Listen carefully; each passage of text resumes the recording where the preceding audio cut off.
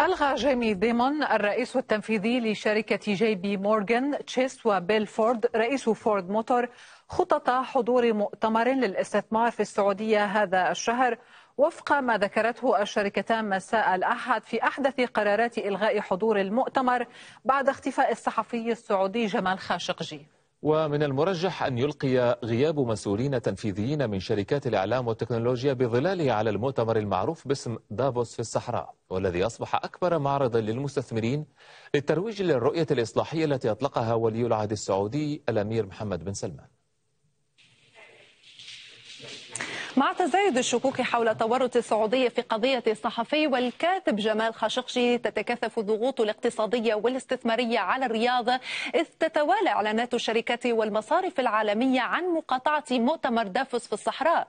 جيمي ديمون الرئيس التنفيذي لشركة جي بي مورغان كان آخر من أعلن مقاطعته للمؤتمر على غرار بيل فورد رئيس فورد موتور. وقد يؤدي هذا الإلغاء إلى زيادة الضغط على شركات أمريكية أخرى مثل جولدمان جولدمان ساكس وماستر كارد وبنك أوف أمريكا لإعادة النظر في خططها لحضور المؤتمر. وانسحبت من المؤتمر مؤسسات إعلامية كبرى مثل شبكة سي ان ان الإخبارية وصحيفتي فاينانشال تايمز ونيويورك تايمز وشبكة سي ان بي سي ووكالة بلومبرج للأنباء.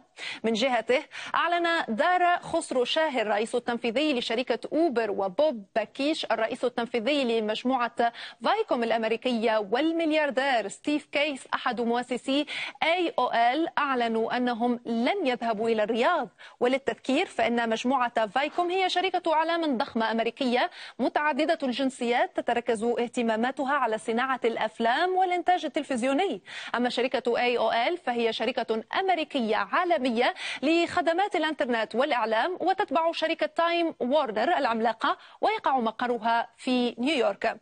كما أعلن باتريك سون مالك لوس أنجلوس تايمز وجوانا بوبر المديرة التنفيذية لشركة اتش بي وأريانا هافينغتون عن عدم حضورهم. من جهته أعلن الملياردير البريطاني ريتشارد برانسون والذي كان من أبرز الحاضرين ومؤسس شركة فيرجن العملاقة المختصة في السياحة والنقل الجوي والحديد والاتصالات وغيرها أنه سيراجع العديد من مشاريعه في المملكة.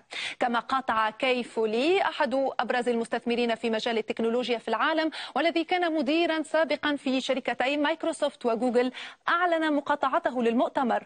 ومن المرجح أن يلقي غياب هؤلاء المسؤولين بظلاله على مؤتمر دافوس في الصحراء والذي أصبح أكبر معرض للمستثمرين للترويج لرؤية ولي العهد السعودي الأمير محمد بن سلمان 2030 وفي السياق تراجع الريال السعودي إلى سعر 3.7 للدولار في السوق الفورية وهو الأضعف منذ يونيو حزيران 2017 العرب اليوم مستمر وفيه بعد الفاصل.